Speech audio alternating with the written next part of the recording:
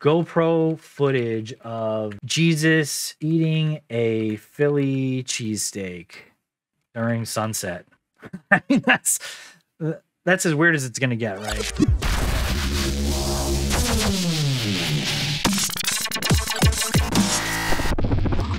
What's up, guys, and welcome to another episode of The Sauce. In today's episode, we're going to talk about how a robot took my job. They took your job. They took your job. Took your job. So, the first thing you're going to notice is that I'm in a new studio space. Um, it looks pretty dope, and it's not real. It's not even an image that was taken by somebody in a real studio. This is actually AI generated. Don't believe me? Well, check this out. What the hell? It's the same studio almost, except it's not. I kind of prefer the blue one. We're going to stick to this one though. What made this thing and how did it make this? AI is getting so good at doing things that we do that pretty much is going to take our jobs, is what basically what I'm saying here. I'm going to show you exactly how I made this image and exactly how you can make this image right now in this episode. So there's a ton of AI bots out there. There's some one called DALL-E, which is a play on Salvador Dali, Starry AI, Wombo, which all of these things are incredible. They're so much fun to use. I highly recommend you use any of these. You type some text, you, you come up with an idea. My text prompt for this was photorealistic music studio shot from three feet up in perspective with uh, dramatic lighting. This is what we got.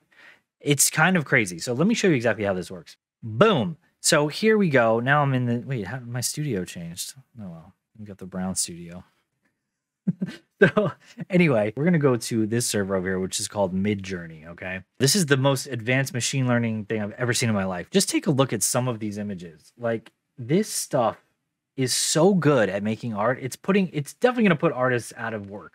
Which I don't know if I like that because I am one and I have friends that are artists, but at the same time, you can generate incredible images in seconds using just your imagination.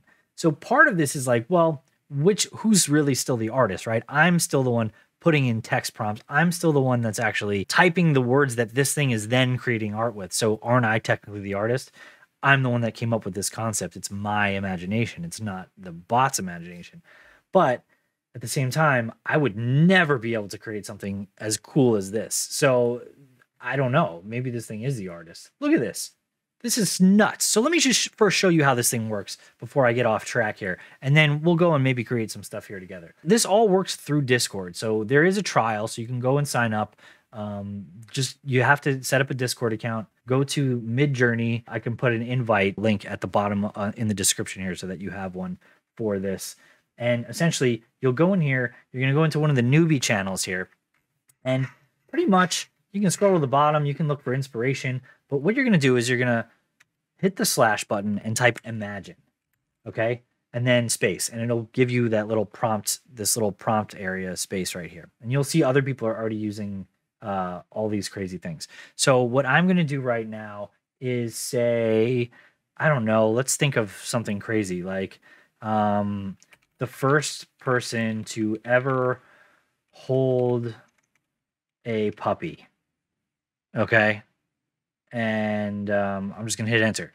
What this is going to do is it's going to wait to start. All of a sudden, over here, you'll see in uh, highlighted yellow or highlighted brownish, it will be creating four images based on your prompt. So it's now creating four images, the first person to ever hold a puppy. Um, I don't know if this is actually creating a person, but it's definitely creating puppies. You can see that. You can see it's actively rendering. It's at 42% right now, and it's just going to keep going and getting better and better as this thing goes on. Oh my gosh, these are the cutest pictures I think I've ever seen. Uh, uh, how could you go wrong with puppies?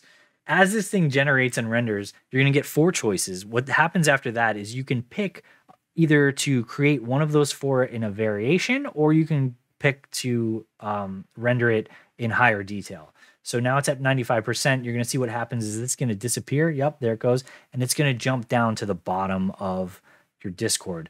Now, if you're doing this from the Midjourney Discord, it's probably going to be a pain in the ass because you are going to have to scroll through all these other people's designs before you can find yours again.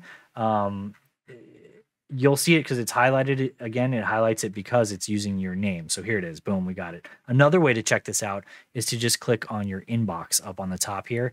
And then you can see, you can sort things by where you were tagged. So here's the tagged image, and you can see that. You can just click on this to jump over to the image. So here we are. I'm going to open the original so you can see better on here. Um, this is our image it gave us four. So the how you figure this out is it goes in quadrants. It goes one, two, three, and four. So that's how you'll know what to press next. These are the cutest freaking puppies ever. This one actually looks like someone holding it. It looks like fingers, right? And and I like this. This is ridiculously cute. This what is he wearing? Like a spacesuit? It's kind of amazing, right? And the eyes on this one are just so cute. So now here's what you get to do at this point. We can say, okay, I don't like any of these, re-roll it. That's what this button does. It'll re-roll four absolutely brand new styles. The U means upscale. So right now it's a small render. It's not very um, big in file size, but you can upscale it to a bigger file size, render it with more detail by pressing one of these buttons. U1 means render this first one, U2 means render the second one, U3 the third, and U4 the fourth. Just like that works, V is variations on those. So you pick one that you kind of like the structure, you like the composition, but maybe you want to see different puppies or different variations of that exact same image. That's what the V comes in place. So what we'll try to do here is I really like this first one. I want to I want to get some variations on the first one, the one, and this is just so cute. Number three, I want an upscale on on number three. So we'll hit those two buttons, and what will happen is they'll start rendering. If you keep scrolling down on the Discord, you'll find the area where they started the job, um, basically um, somewhere down here. But again, it tags you when you do it, so you can always hit the inbox to go check it out. And so here is now, oh, 100%, it disappeared. Let's go to our inbox to check it out right here. Okay, jump to it. these are now our variations on variation one. So that's why they're all very similar now in structure, in color, in in composition. However, it gave us variations on the puppies. It's this is crazy. I love I don't know. This is so adorable. I really like this one. Number 3. Number 3 is pretty good. So, I'm going to just uh put that down here. And uh let's go check and see if our other one's done yet. Um, not yet. It doesn't seem like it. So the upscaling takes a little bit because it's really processing, and you can see there's many, many people making images at once um, trying to process this. And the images are just insane. The the level of detail, the creativity, like what is this? Space Cat Galaxy Purple. Like the things that it comes up with are just incredible. The art styles are so different. So different. So we can click on here. Oh, there we go. So we got our upscale and uh, there, it'll just jump down to this. So now when we click on this, look how much bigger it is and how much more detailed this is. This, when you open the original, I mean, you can right click now and save this image to your hard drive, and you know, there you go. It's basically the cutest thing I've ever seen in my life. and now you can take this even one step further, and you can take this image that we got upscaled let me jump to it real quick. If you really, really love this image and you want to upscale it even more to, you can basically click this button, which is a no brainer, upscale to the max. And that will make it the highest resolution possible for this. It's just incredible. It looks so amazing. Look at this, like horror 8K. Like some of these are really creepy and gruesome and nuts. Sonic.exe.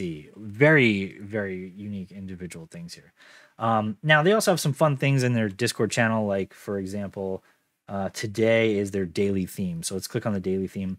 The daily theme is now paper, paper, cardboard, and origami. And so everyone in this is now using things that have to do with paper. So here's a super cute paper statue. Um, this is a scene from The Wizard of Oz, folded colored paper. And to get these types of prompts, you basically just have to type paper or like you can do some crazy fun things. You can also, if you don't want all the clutter that's happening on here, you can also add this bot to your server by right clicking on the bot and just inviting it to your personal Discord server. So I'm going to do that right now. I'm going to go over to the Rocket DAO. If you guys uh, are in the Rocket DAO, you don't have access to this just yet, but you will. That's part of the perks of being uh, in the Rocket DAO. So if you want to join Rocket DAO, just mint the NFT below, join the Discord server. The links will all be in the description below, and you can have access to this privately on the Rocket DAO server. Um, and you're supporting me and everything that I'm doing here in Web3, which I appreciate tremendously. So you can see now the renders that I made for my backgrounds here. Um, this is my upscaled studio music studio, and this is my upscaled video studio. Um, these were the choices that it gave me, which is pretty interesting. These are some cool couches. I don't know if I picked the right one. Why don't you put down in the comments below if you think I should have gone with quadrant one, two, three, or four, uh, and let me know which one's better to use for these podcast for these uh, videos because. Man, I mean, what a great background. This was the first set that I had to re-roll because it was a little weird in terms of perspective. Um, but it did a pretty good job rendering these couches out. Um, and I've done a couple things here. We've got some new logos now that I've created for Rocket Sauce, which uh, is literally sauce, um, disgusting 3D sauce, and what looks like you know little Chef Boyardee uh, spaghettios in letters. I could never have come up with this on my own. This is just insanity. So let's do something new and let's do something weird and fun. I don't know. Let's type imagine and we can you can literally imagine anything like the weirdest stuff things that have never existed before in life. So you know that this bot isn't just pulling pictures off the internet. It's actually thinking and creating these images. So um i don't know. The weirdest thing i could think of is uh gopro footage of jesus eating a philly cheesesteak during sunset. I mean that's that's as weird as it's going to get, right? And we can you can also add some tags like dash dash AR means aspect ratio. So maybe I don't want a square of this. Maybe I want this in 16:9. Uh, and let's hit enter and see what we get. This might be some really weird stuff here.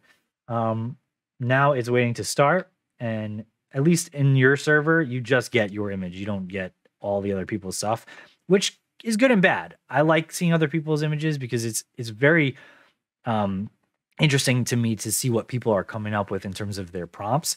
And it's really cool to give you inspiration for your own images too, sometimes. So now we're seeing we're at 32%, and it's pretty fast for that first initial render. You can already see the uh, the silhouette of the man himself. And uh, I don't know what we're gonna get, but this is definitely uh, it definitely looks like GoPro footage. At least some of these do. Eh, I don't know how it knows this. The third one for sure looks like it. I'm pretty sure this is a cheesecake. Not a cheesecake, a cheesesteak. Cheesecake would be a better prompt. A cheesesteak is very funny. Oh my god. Literally, no pun intended here. it's just freaking hilarious. This really looks like a GoPro shot of a guy getting I don't know if he's getting handed a cheesesteak or what. This is hilarious. I love how huge he is in the scene, like godlike, if you would, you know. This looks more like he's eating a uh, a corn dog than cheesesteak, but honestly, the sunset is incredible in this shot. And this one, I can't tell where he is, but it looks like he's on a boat somewhere, or maybe this is actually the statue in Brazil that they're that they're that it looks like it's mimicking here in Rio de Janeiro or something. But this is uh this is crazy. So if you liked these, you can upscale them. Um, I don't know that I care for any of them. We can re-roll it. I'll show you what that looks like, right? Maybe I don't like any of them. Re-roll. Give me something totally fresh, bot. I want to see some other stuff. Um, you messed up on this one for sure. And so when you re-roll, it will then just come up with four completely new scenarios. As you can already tell by the image, it doesn't even look close to the last one. It's they look like completely different scenes. So we'll see what that looks like. In the meantime, I mean, you can come up with basically anything. In this case, maybe you want a trial to see like what kind of a logo you should add or something like that. So we can try that for for right here, right? Imagine uh, a 3D cartoon logo of a hot sauce packet shooting sauce everywhere. We want this, or we'll just say backlit. You can define the back or dramatic, dramatic backlit lighting. You can even define the lighting. Okay, this is how crazy this thing is. I'm gonna enter on that, and we're gonna go look at the new GoPro Jesus. Oh my gosh. Okay, so yeah, obviously the GoPro footage it's such a wide angle lens that it does that bending thing on your face. And that's why this is so hilarious because it actually got this pretty pretty on point. And i think this one's my favorite because it's somebody handing him a literal this is a photorealistic cheesesteak. I mean this is great this is so wacky. Um it's incredible. I i know i keep saying that but like what what are the words for this? It's it's indescribable what is happening here long story short, you can do this right now if you want to. I'm not sponsored by Midjourney, although I wish I was. Um, I wish they could just give me an unlimited membership to this because uh, I it's addictive. You will use this all day and start coming up with crazy stuff. The beauty about this is when you're done with these images, they are high enough resolution where you could print these on t-shirts or you can make them into um, uh, canvas. Um, they're not crazy high resolution. You're probably stuck with like a five by five, but I'm sure they could get there. I'm sure they can increase the resolution with better uh, packages or monthly memberships. Um, so these are my sauce packets, cartoon sauce packets. Um, this looks more like a bottle, but you know what? I mean, hot sass, hot sass. The AI isn't great with text yet. I'll tell you that much. Um, but when it gets it right, it gets it right these are crazy. This is a really cool logo. Like if I didn't already have a pretty dope logo, I would I would use one of these. Probably this one, just right, powered by Rocket Sauce right here. We could use that as the new logo. It's pretty chill.